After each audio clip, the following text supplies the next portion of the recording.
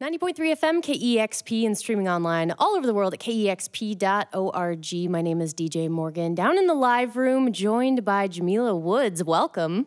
Thank you. Love Thanks to- for having me. Of course, great to have you. We'd love to hear a couple songs from you. Cool. Um, this first one is called Heavn.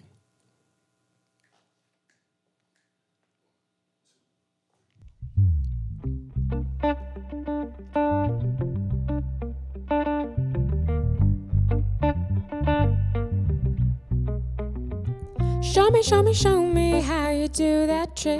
The one that makes the winters warm, the one where summer never comes. Show me, show me, show me how you do it. The one that makes the winters warm, the one where summer never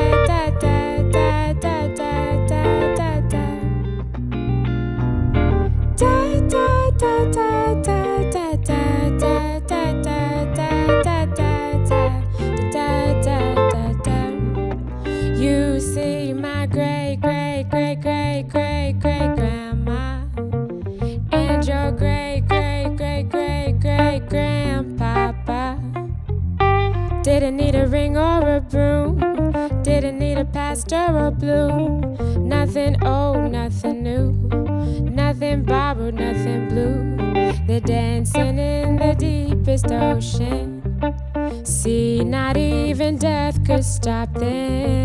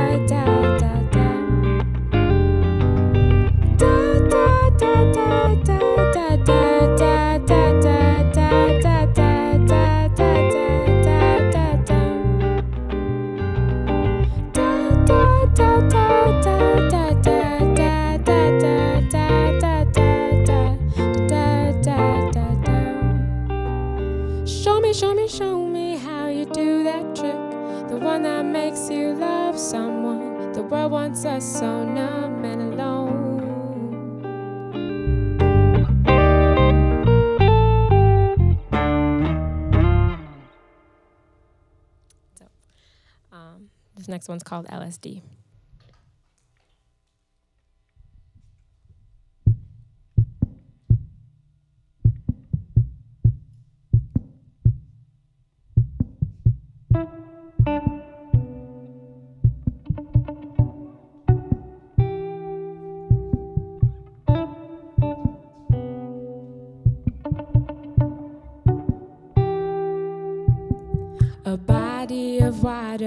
Inside me reminds me of oceans, though I've never known one. Born by a cold one, it's only a small one compared to the coast. I prefer it to most. I like water that don't burn my eyes when they open. I won't let you criticize my city like my skin. It's so pretty if you don't like it, leave it alone. You gotta love me like I love the lake. You wanna love me better, love the lake. You gotta love me like I love the lake. You wanna love me better, love the lake. They didn't think we really had it like that. They didn't think we really had it like that. They didn't think we really had it like that. Matter of fact, we could swim in it.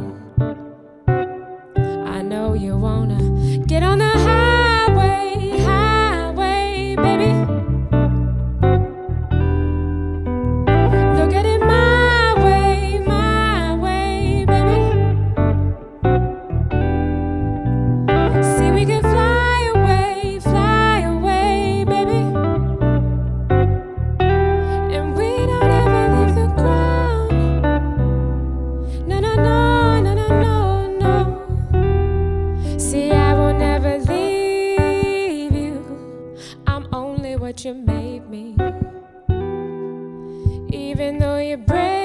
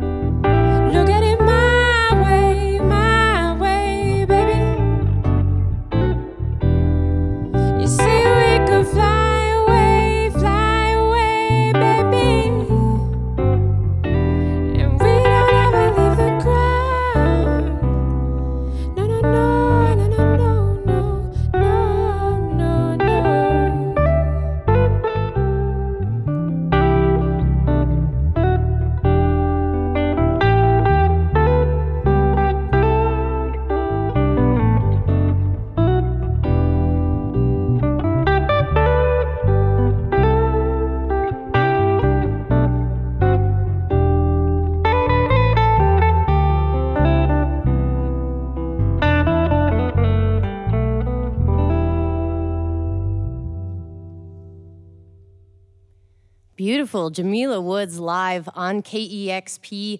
The debut album is called Heavn, came out last July.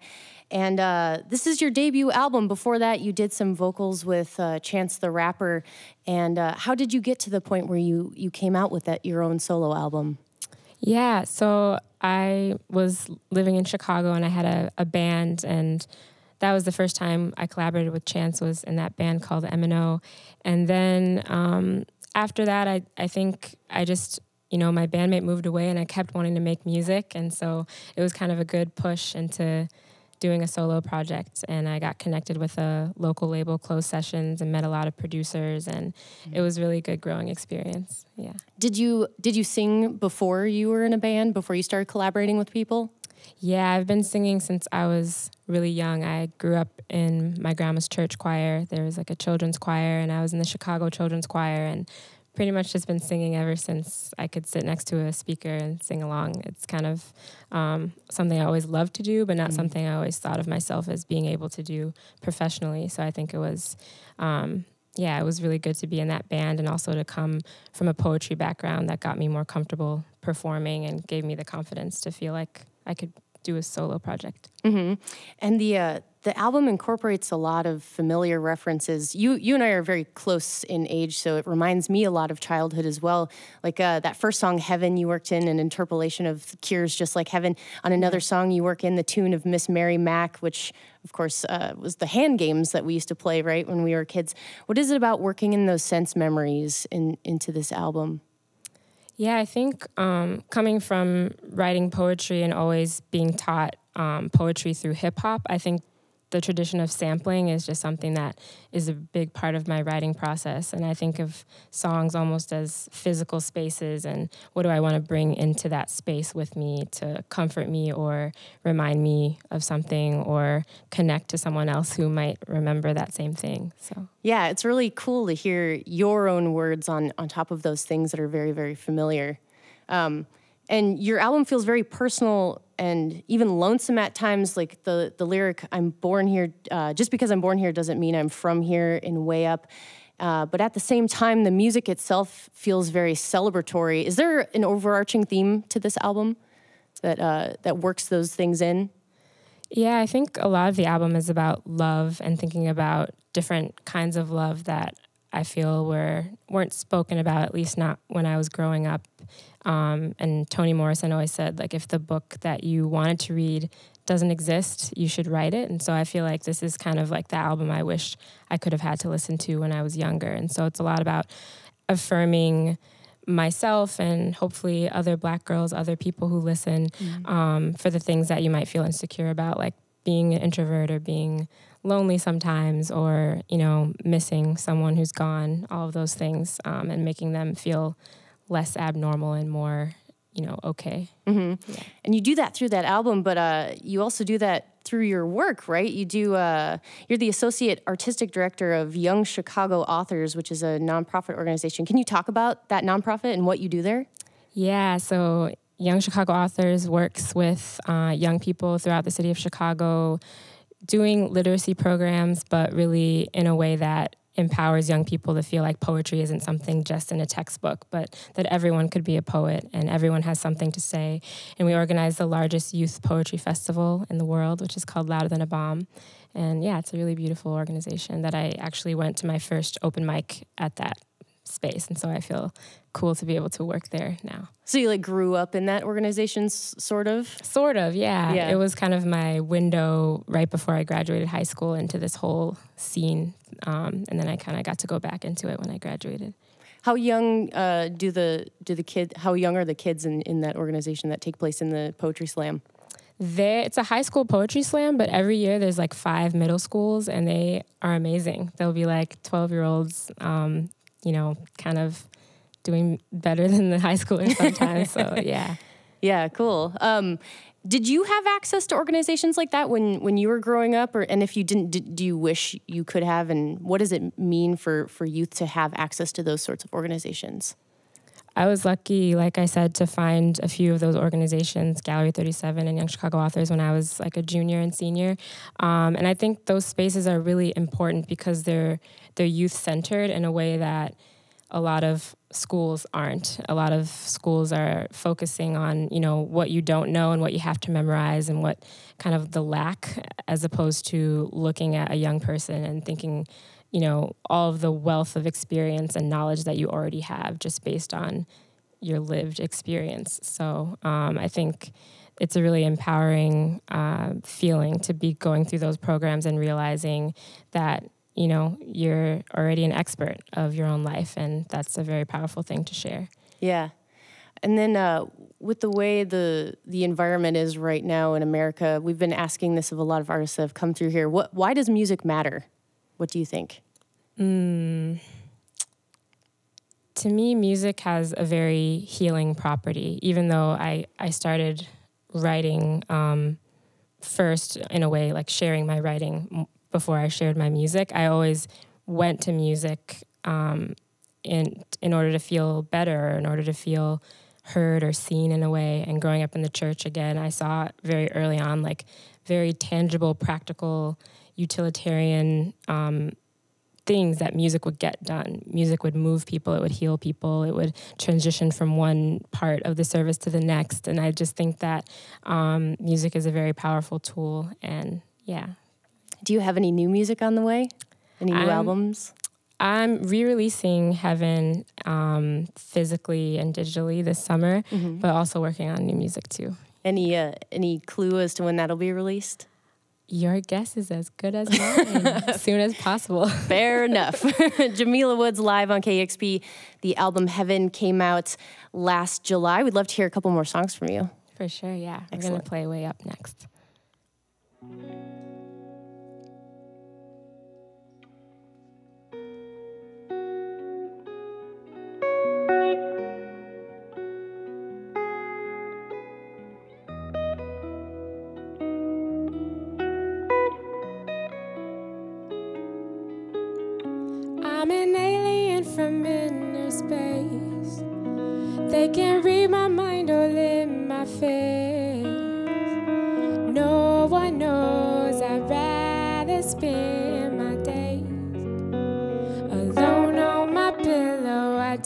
What they say.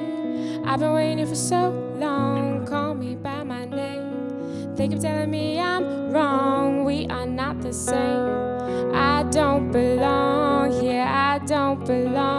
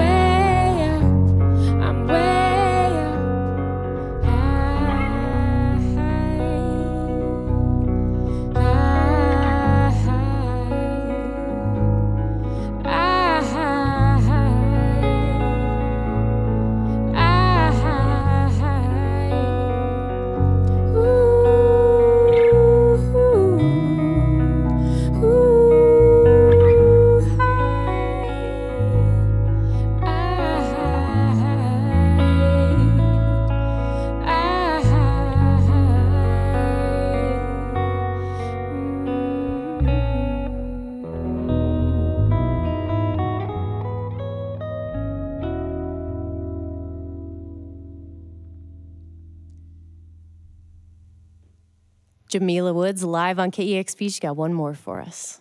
Yes, this next one, last one, is called Black Girl Soldier.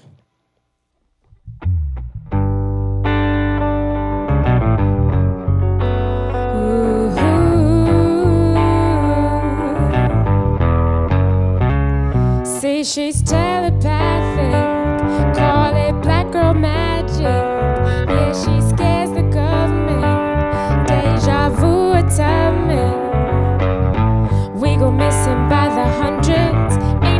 Checking for us, ain't nobody checking for us. The camera loves us, Oscar doesn't. Ain't nobody checking for us. They want us in the kitchen. Kill our sons with lynchings. We get loud about it. Oh, now we're the bad ones. Look at what they did to my sister last century, last week. They put her body in a jar and forget her. They love how it repeats. Look at what they did to my sister last century, last week. They make her hate her own skin, treat her like a sin. Oh, why? Why? But what they don't understand, see what they don't understand is, yeah, what they don't understand, yeah, what they don't understand is she's telepathic. Call it black girl magic. Yeah, she scares the government. Deja vu atonement. And G G G G G G don't give up. Yeah, yeah, yeah, yeah, yeah, yeah,